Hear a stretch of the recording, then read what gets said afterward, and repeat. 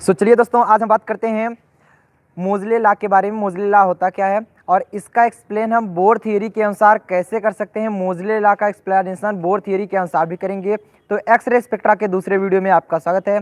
बात करते हैं एक्सरे स्पेक्ट्रा होता क्या है। एक्सरे स्पेक्ट्रा का अगर पहला वीडियो नहीं देखे हैं तो आप जाकर ज़रूर देख लीजिए, सर्च कीजिए X ray spectra by Vivek Mishra study channel आपको वो वीडियो ज़रूर मिल जाएगा, जिससे कि आप अच्छी तरह से पढ़ सकते हैं। तो आज का वीडियो बहुत ही इंपॉर्टेंट होने वाला है, जैसे कि हमारा इसके पहले वीडियो इंपॉर्टेंट था, उसी प्रकार ये वीडियो भी बहुत ही इंपॉर्टेंट है और ये वीडियो ज़रूर देखिएगा, क्योंकि एक्सरे स्पेक्ट्रम मैक्सिमम दो या तीन क्वेश्चन ऐसे हैं जो अगर एक्सरे स्पेक्ट्रा से क्वेश्चन पूछे जाते हैं तो यही क्वेश्चन पूछे जाते हैं। टोटल क्वेश्चन हमारे यही आते ही हैं। सो आप इसको ज़रूर देखिएगा। जैसे क्वेश्चन हमारा आता है व्हाट इज़ मोजले ला मोजले ला होता क्या है? उसको हम बताएँगे मोजले ला क्या होता है और how it can be explain on the basis of Bohr's theory इसे बोर्स थीरी के बेसिस पे कैसे हम एक्सप्लेन कर सकते हैं, वो चीज़ हमको बताना है। तो अब हम बताएँगे, मोजले ला क्या होता है? इन्होंने क्या अपना ला दिया था? जब सेक्शन बी में पूछा जाता है तो सिर्फ़ यही पूछा जाता है वाट मीन बाय मोजले ला? तो हम आगे यहाँ पर बताएँगे, मोजले ला क्या होता है? तो उसके बारे में चर्चा करेंगे, लेकिन अभी थोड़ा हम क्या करेंगे इंट्रोडक्शन पार्ट समझेंगे। उसके बाद हम मोजले ला के बारे में भी आएँगे अब हम बात बात करते हैं मोजले ला हम पहले बताने वाले हैं बट अभी मोजले ला देखिए क्या होता है। ठीक भैया, चलिए, देखते हैं। मोजले 1913 1913 ईस्वी observe a simple relation between element and their characteristic Moseley ने 1913 ईस्वी में पाया था बिटवीन किसके किसके बीच में? Element and their characteristic X ray spectra X ray spectra के रूप एक्सरे स्पेक्ट्रा के और उसके एलिमेंट के साथ दोनों के बीच में एक रिलेशनशिप पाया। ही फाउंड दैट उन्होंने पाया the spectra of different element are very similar जो स्पेक्ट्रा हैं। द स्पेक्ट्रा ऑफ़ डिफरेंट भिन्न भिन्न एलिमेंट के जो स्पेक्ट्रा मिल रहे थे, वो वेरी ही सिमिलर मतलब सिमिलर मिल रहे and with increasing atomic number Z और वह एटॉमिक नंबर जेड के बढ़ने के साथ वो क्या हो रहे थे? इक्वल ही मिल रहे थे मतलब जैसे जैसे एलिमेंट का एटॉमिक होता जाता था बट हमारे जो स्पेक्ट्रा मिल रहे थे, वो हमारे इक्वल स्पेक्ट्रा ही तो हो रहे थे। आगे इसमें बताया जा रहा है कि the line near shift towards shorter frequency, जो हमारी स्पेक्ट्रल लाइन थी, वो नियर शिफ्ट शिफ्ट हो रही थी टूवर्ड्स, किसकी तरफ़?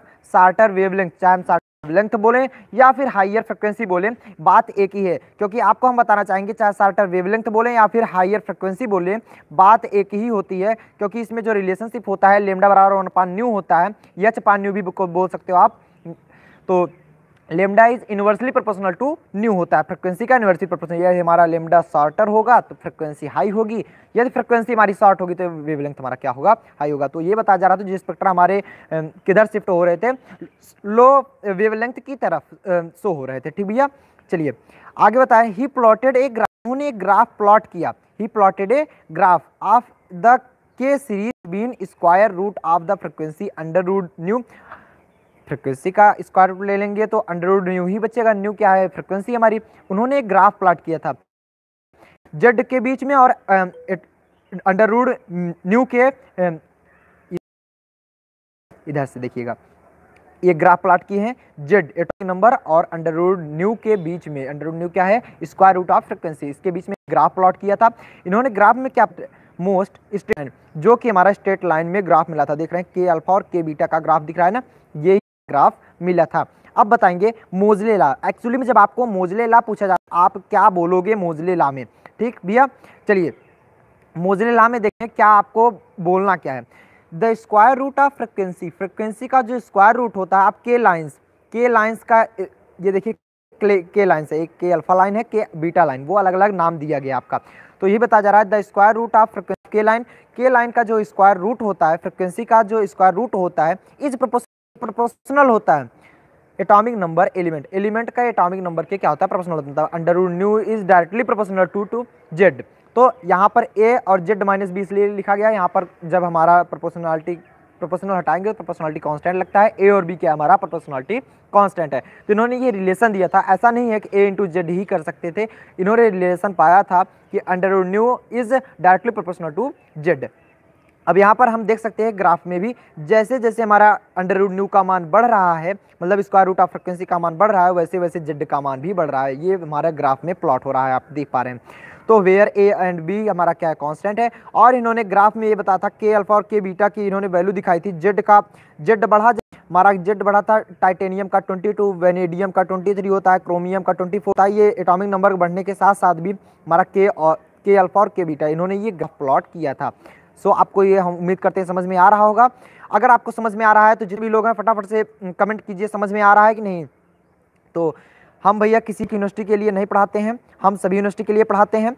और सर बीएससी सेकेंड ईयर का, इसमें कमेंट आ रहा है सर बीएससी सेकेंड ईयर का कुछ इंपॉर्टेंट डेरिवेशन करवा दो प्लीज़ जी भैया, करवा देंगे डोंट वरी अगर समझ में आ रहा है ना, फटाफट से टाइप कीजिए, कि समझ में आ रहा तो यस टाइप कीजिए फटाफट से इसमें। चलिए। अब आगे हम देखते हैं, ये ये तो हमारा बिल्कुल समझ में आ गया। अब जो सेक्शन सी क्वेश्चन होता है, जैसे पूछा जाता है what do mean by Moseley law Moseley law तो हमने बता दिया। अब कहा होता है कि एक्सप्लेन ऑफ़ मोजलिला मोजलिला का आपको एक्सप्लेनेशन करना होता है according to Bohr's theory Bohr's theory के अकॉर्डिंग आपको मोजलिला का एक्सप्लेनेशन करना होता है तो आप कैसे करोगे? वो आपको ध्यान देनी है। तो आप बताओगे अब ये पूरा हमारा सेक्शन सी में क्वेश्चन चल जाता है तो इसलिए आपको ये ध्यान से समझना है। बहुत इंपॉर्टेंट क्वेश्चन है, अगर आपका ये एक्सरे स्पेक्ट्रा में आ जाएगा, या तो ये क्वेश्चन पूछा जाएगा, या तो इसके पहले वाला क्वेश्चन जो हमने फ़र्स्ट वीडियो में पढ़ा करा है। इसके अलावा क्वेश्चन इसमें से बहुत ज़्यादा नहीं पूछे जाते सो आप इसी को ज़्यादातर ध्यान से पढ़िएगा। कहा जा रहा है एट अबाउट ये आपका एट है। At सेम टाइम में when Moseley gave a law regarding to characteristic X ray spectra जब मोजले ने कैरेक्टरिस्टिक एक्स रे स्पेक्ट्रा के बारे में खोज करना, कर रहे थे या फिर दे रहे थे, इसका नियम दे रहे थे Bohr's presented his theory Bohr ने भी अपनी थियरी क्या की थी? प्रेजेंट कर रहे थे। उसी टाइम पे बोर ने भी अपना थियरी क्या किया था? प्रेजेंट किया था। Of the hydrogen atom hydrogen atom की थियरी हाइड्रोजन की स्पेक्ट्रा की थियरी इन्होंने क्या किया था? प्रेजेंट किया था। तो it come evident that Bohr's play characteristic X ray spectra वह ऐसा हुआ जब बोर थियरी क्या कर रहे थे? हाइड्रोजन एटम की स्पेक्ट्रा के बारे में इन्होंने अपना रूल प्रेजेंट कर रहे थे। इन्होंने कुछ एक्सप्लेन किया किसके बारे में? बोर थियरी कुड एक्सप्लेन कर सकी कैरेक्टरिस्टिक या स्पेक्ट्रा इन्होंने हाइड्रोजन स्पेक्ट्रा के बारे में रिसर्च कर रहे थे, अपना प्रेजेंट कर मतलब अपना नियम दे रहे थे। तो इन्होंने ये सिद्ध करके दिखा सके, सिद्ध कर सके एक्स रे स्पेक्ट्रा के बारे में। If the atomic number Z was identify as the number of positive charge on the nucleus क्योंकि न्यूक्लियस में पॉजिटिव चार्ज ही होता है।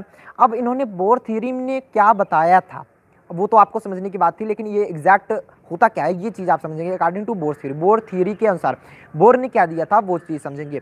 द वेवलेंथ लेमडा जो वेवलेंथ लेमडा होता है ऑफ़ हाइड्रोजन स्पेक्ट्रम लाइन क्योंकि ये बोर थियरी ने हाइड्रोजन स्पेक्ट्रम लाइन के बारे में ही रिसर्च करना स्टार्ट किए थे, कि the wavelength lambda of the hydrogen spectrum line emitted उत्सर्जित करती है, होता है लाइन इमिटेड वेन कब होता है? जब an electron jump from the initial energy level N I to final energy level उन्होंने कहा था कि जब वेव लेंथ तब इमिट होता है, तब उत्सर्जित होता है वेव लेंथ हाइड्रोजन स्पेक्ट्रा की लाइन जो होती है, उसकी जो वेवलेंथ होती है, वो तब उत्सर्जित होती है जब कोई atom initial energy level N I से फाइनल एनर्जी लेवल में जंप कर जाए. इट मीन्स इन्होंने जो रिलेशनशिप बताया था one upon lambda equal to R Z square one upon N F का square minus one upon N I का स्क्वायर। एन एफ़ यहाँ पर क्या है?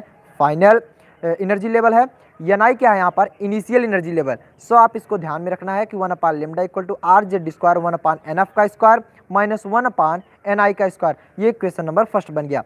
अब यहाँ पर बताया जा रहा है, now in X ray emitted, if one of the two K electron K electron मतलब कोई भी आप इलेक्ट्रॉन, नहीं, इन्होंने के इलेक्ट्रॉन लिया था। नाउ, अब जो इन्होंने बताया था, in X ray X ray emission if X ray तब इमिट होता है। इमिट मतलब होता है उत्सर्जित होना। If one of the two K electron, दो में से कोई भी एक इलेक्ट्रॉन, एक जो इलेक्ट्रॉन हमारा इमिट हो रहा है, उसका नाम इन्होंने के इलेक्ट्रॉन दे दिया था। दो इलेक्ट्रॉन में से कोई भी एक electron of an atom removed an L electron, इन्होंने क्या किया था? के और यल इलेक्ट्रॉन, दो इलेक्ट्रॉन थे, दोनों में से एक को के नाम दिया, एक को यल नाम दे दिया। इन्होंने क्या कहा था कि जब कोई के इलेक्ट्रॉन तक किसी एटम से तो an L electron would be attracted by the positive charge of the nucleus क्योंकि आप जानते हैं, जब वो इलेक्ट्रॉन इमिट कर रहा है तो इलेक्ट्रॉन दे रहा है तो क्या किसके द्वारा आकर्षित किया जाएगा? पॉजिटिव चार्ज न्यूक्लियस के द्वारा न्यूक्लियस में हमारा पॉजिटिव चार्ज होता है। तो इन्होंने वही बताया था कि जब कोई निगेटिव चार्ज या किसी भी एटम में से एक इलेक्ट्रॉन दिया जा रहा है तो एल इलेक्ट्रॉन जो थे, वो क्या कर दिए जा रहे थे? अट्रैक्टेड हो जा रहे थे पॉजिटिव न्यूक्लियस चार्ज के द्वारा। In very much the same way इसी प्रकार as the single electron of the hydrogen atom is attracted by the nucleus जो हाइड्रोजन एटम के सिंगल हाइड्रोजन एटम के सिंगल इलेक्ट्रॉन होते हैं तो सिंगल इलेक्ट्रॉन भी जो थे, वो भी क्या थे? जैसे एक इलेक्ट्रॉन जब हमारा वो दे देता था रिमूव हो जाता था तो एक इलेक्ट्रॉन बचते थे, एक इलेक्ट्रॉन किसके द्वारा? न्यूक्लियस के द्वारा अट्रैक्ट कर लिए जाते थे। उसी प्रकार हाइड्रोजन के भी एक इलेक्ट्रॉन न्यूक्लियस के द्वारा अट्रैक्ट हो रहे थे। इन्होंने यही बताया था। अब आगे देखते हैं, होता क्या है कि द रिमेनिंग के इलेक्ट्रॉन यहाँ पर बताया जा रहा है since since the remaining K electron जो रिमेनिंग के इलेक्ट्रॉन है is much nearer the nucleus वो न्यूक्लियस के जस्ट मतलब के इलेक्ट्रॉन हमारा रिमूव हो गया था. ये इलेक्ट्रॉन तो हमारा न्यूक्लियस से आकर्षित कर लिया गया. लेकिन जो के इलेक्ट्रॉन बचा रिमूव हुआ था, वो मच नियरर एकदम नज़दीक होता है the nucleus than the L electron L electron की अपेक्षा न्यूक्लियस के ज़्यादा नज़दीक होता है. भले ही वह वह अट्रैक्ट कर लिया जा रहा है यल इलेक्ट्रॉन लेकिन जो के इलेक्ट्रॉन है न्यूक्लियस के ज़्यादा नज़दीक है। It produce screening effect using the attraction of the nucleus for L electron यह L electron L electron remove कर, वो सॉरी अट्रैक्ट किया गया था। तो के इलेक्ट्रॉन नज़दीक होने के कारण क्या कर रहा था? स्क्रीनिंग इफ़ेक्ट दिखा रहा था। मतलब ये इलेक्ट्रॉन जब remove sorry K electron remove हुआ है और वह क्या किया रहा था? हमारा न्यूक्लियस के साथ गया था न्यूक्लियस के जस्ट पास था। तो वो क्या कर रहा था? स्क्रीनिंग इफ़ेक्ट दिखा रहा था। दस, अतः for the L electron the effective nuclear charge L electron के लिए जो इफ़ेक्टिव न्यूक्लियर चार्ज था is reduce to Z minus one Z minus one reduce कर रहा था। मतलब replacing Z by Z minus one जो रिप्लेस जेड था, वो जेड माइनस वन के द्वारा, क्योंकि एक इलेक्ट्रॉन हमारा रिमूव हो रहा। पहले हमारा एटॉमिक नंबर जेड था, बाद में जब एक इलेक्ट्रॉन निकल गया तो जेड माइनस वन हो गया। अब क्या कर रहा है? ये हमारा इक्वेशन नंबर फ़र्स्ट था, ये ध्यान दीजिएगा। आर जेड स्क्वायर था तो यहाँ पर जेड की जगह क्या रखेंगे हम तब? एक इलेक्ट्रॉन जब हमारा रिमूव किया गया आर जेड माइनस वन का स्क्वायर अब यहाँ पर यही समझने वाली बात ये है कि अब क्या होता है? Final minus initial one upon lambda बराबर आर जेड स्क्वायर हो जाएगा। फाइनल हमारा क्या होगा? पहले देखिए, वो क्या किया था? दूसरे से जंप कर रहा है, देखिए। L electron jump into K shell कहाँ से जंप करा? है ये देखिएगा कि के अल्फ़ा लाइंस इज़ इराइजेस ये उठती हैं। या प्राप्त होती हैं when L electron jump into K shell K L M L lines होती हैं। ऐसे के एल एम एल लाइन आप बनाएँगे। जब के एल एम एल लाइन बना देंगे आप तो क्या होता है कि जो इलेक्ट्रॉन होते हैं, क्या होते हैं? इलेक्ट्रॉन के बने हैं तो आप क्या करोगे? यल से जंप कर रहा है के में मतलब टू से वन में आ रहा है। तो फाइनल क्या होगा? वन और सी क्या होगा? टू क्योंकि आप फार्मूला जानते हो, ये फाइनल माइनस इनिशियल होता है वन अपान एन एफ़ का वन अपान एन एफ़ की जगह क्या रखोगे? वन रखोगे, क्योंकि फाइनल में कहाँ पर करा फाइनल हमारा क्या हुआ? लास्ट में जंप करा है इनिशियल में, अर्थात पहले वाले से जंप कर रहा है। तो ये मतलब टू वाले से जंप करके फ़र्स्ट में आ रहा है तो ये वैल्यू आपको रख गए। तब कहा जा रहा है the line alpha is arise when M electron jump into L shell जब यम इलेक्ट्रॉन यल सेल में जंप करेगा तो यम कहाँ पर मिलता है? तीसरी लाइन हमारी यम होती, क्योंकि के एल यम एन आप बनाते हो। यम इलेक्ट्रॉन यम सेल से यल सेल में जंप जंप करेगा इलेक्ट्रॉन। तो इनिशियल क्या होगी? यम। यम की क्या होगी? तीन रखोगे। आई की वैल्यू तीन रखी है, ये। यहाँ की वैल्यू तीन रखी गई। और ये हमारा यफ है। ये वन अपॉइंट टू का स्क्वायर ये यफ है। तो एन एफ़ फाइनल क्या रखोगे? आप दो रखो, क्योंकि तीन से दो में आ रहा है। यम से यल में आ रहा है। और आप जानते हो, जब आप यम से यल में आते हो तो यहाँ पर सात दशमलव चार रिमूव होता है, ये देखिएगा। ये वैल्यू आपको याद रखनी पड़ेगी। सात दशमलव चार यहाँ से क्या होता है? रिमूव कर दिया जाता है। इन जनरल जनरल में अगर देखा जाए वी कैन राइट हम लिख सकते हैं इसको क्या?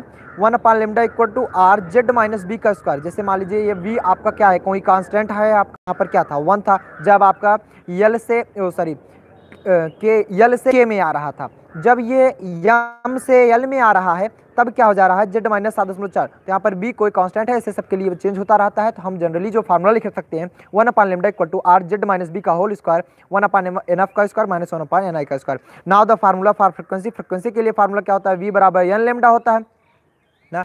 वी बराबर एन लेमडा, आप जानते हो। यहाँ पर अगर हम प्रकाश की चाल लेते हैं तो प्रकाश की चाल के लिए वी की जगह क्या रखते हो? सी की वैल्यू। क्योंकि सी की वैल्यू क्या होती? है three into ten power eight metre per second.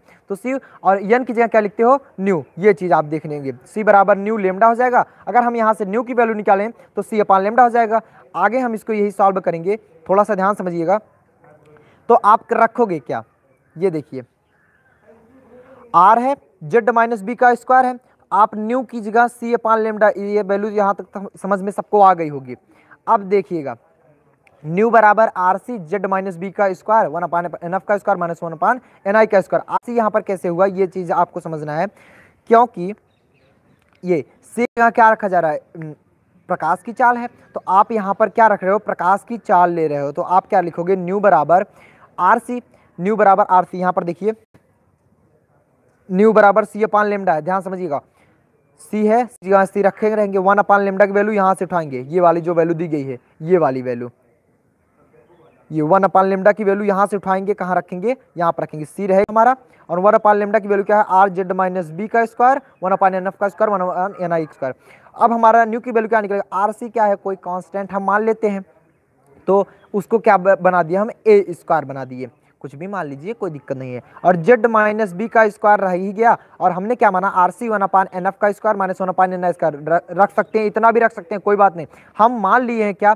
ये आप के लिखे हो।